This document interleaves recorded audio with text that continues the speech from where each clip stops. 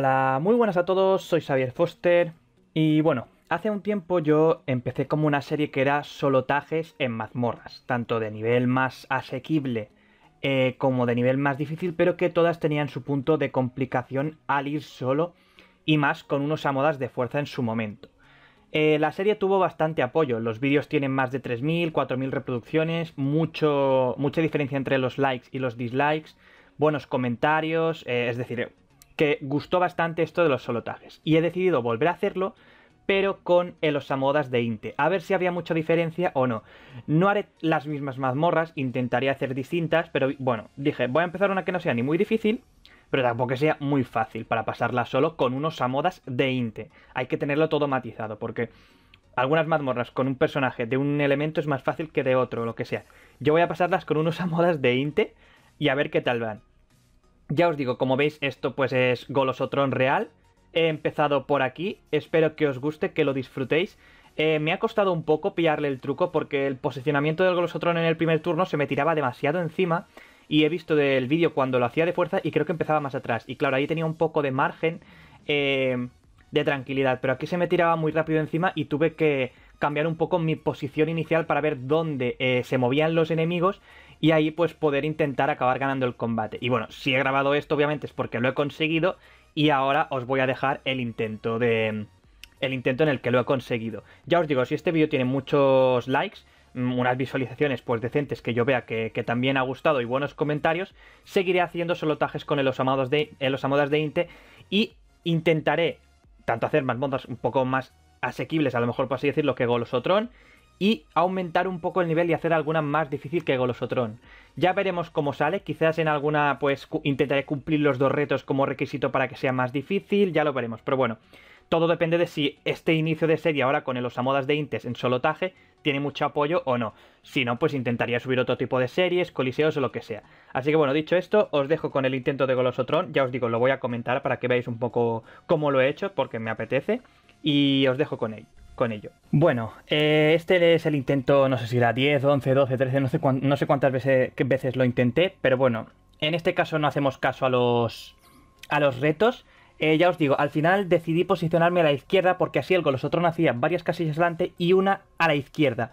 Me quedaba perfecto para realizar las, las cargas del dracónico porque eh, quería invocar en, el turno 1 un dragón albino y poder darle favoritismo ya directamente en el turno 1 sin tener que esperar y así pues ya va escalando el daño, va escalando para, dentro de un par de turnos, pues pegar bastante más. Así también le, reducía el daño.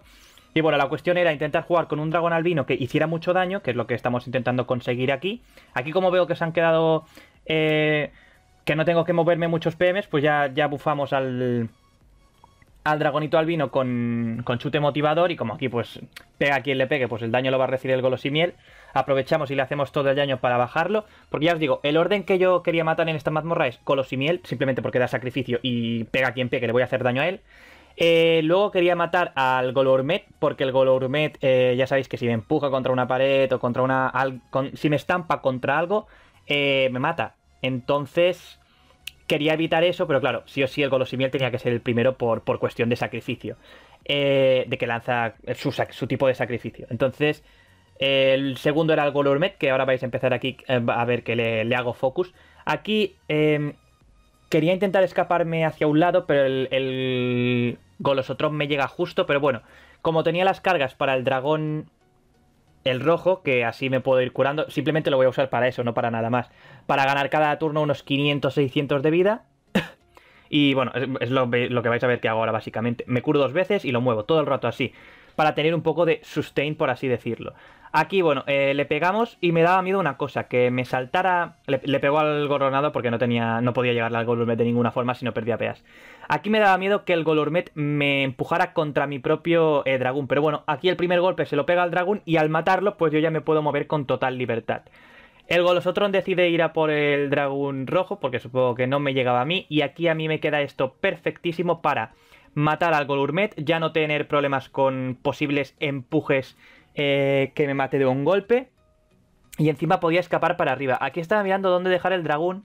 Porque la intención es siempre que el, Golosotron real gaste el máximo de PMs. Para que cuando me cambie no se me, puede quedar, no se me pueda quedar cuerpo a cuerpo. Que siempre se aleje.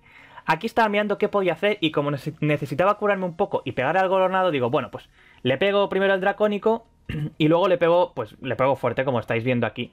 Le pegamos con todo y me curo un poco. Eh, con, al tirar el dracónico me curo un 25% de, de lo que pego.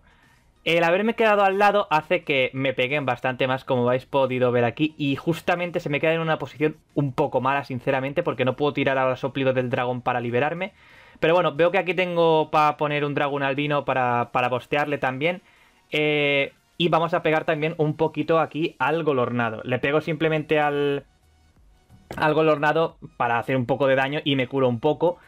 Eh, el problema es que cuando fui con el de fuerza, claro, podía robar vida, podía pegar golpe del crujidor en masa. Me acuerdo que al golosimiel lo maté súper rápido porque, claro, al poderle tirar directamente eh, golpe del crujidor en área, le quitaba a lo mejor 2000 porque le pegaba a dos a la vez. Y aquí no podía hacer eso. Por eso el limpiar el mob me ha costado un poco más y ha hecho que ahora que ya estoy solo contra el Golosotron, mi vida, pues como veis, no es la mejor. Tengo 1149 de vida y porque me he curado con la cura de los Amodas.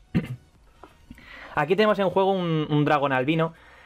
Quizás necesitaría haber invocado lo antes posible otro dragón rojo, ya que las curas del dragón rojo casi que compensan el daño que me puede proporcionar el, el Golosotron real. Como veis aquí me he quitado unos 500 y algo de vida, pues el dragón me lo curaría, más lo que yo pego, porque siempre intento pegar primero dracónico, para meterle el efecto de los...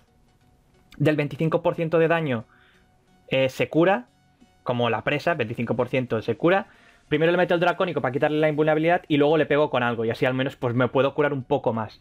Aquí voy un poquito con el dragón, le pegamos lo que, lo que se puede, le pegamos, ya veis que cuando va con favoritismo, chute, chute motivador ahí un poco cargado pues también se nota el daño. Pero bueno, mi vida no es la mejor, aquí tenía que invocar ya sí o sí dragón, tenemos el equilibrio bestial para llegar a las tres cargas. Eh, no sé si todos sabéis cómo funcionan las cargas de los Amodas, si no algún día pues haré un vídeo explicándolo si no lo entendéis. Eh, pero bueno, la cosa es que necesitaba tres cargas para poder invocar al dragón rojo. Lo consigo invocar, me curo y aquí como con el dragón albino no llego a nada, pues me curo, cura menos, pero bueno, algo cura. Y tengo que intentar mantenerme vivo de cualquier forma. Porque el Golosotron real no tiene piedad y me pega de cualquier forma. Aquí me daba miedo matar al dragón rojo porque lo quería utilizar para curarme.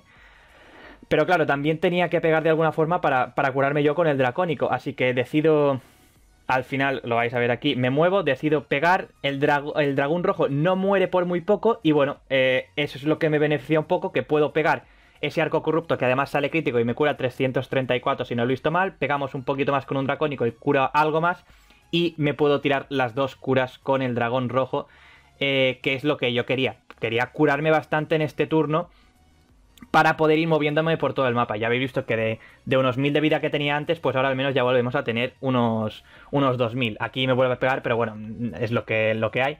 Me cambia y me deja perfecto para poder pegarle. No tengo una pared detrás y le puedo pegar completamente libre. No hay dragón rojo, pero al menos mi vida ahora es más elevada. Y eso pues obviamente evita que me pueda... Que me pueda matar bastante rápido. Además, el dragón albino lleva bastantes turnos ya en juego. El el favoritismo que está haciendo bastante efecto en cuanto al daño.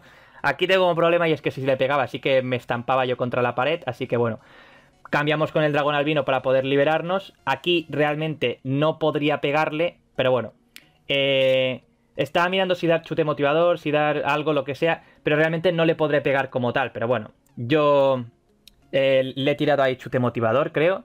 No se nota que se haya hecho mucho más grande, pero bueno, a lo mejor no, hice algo bien.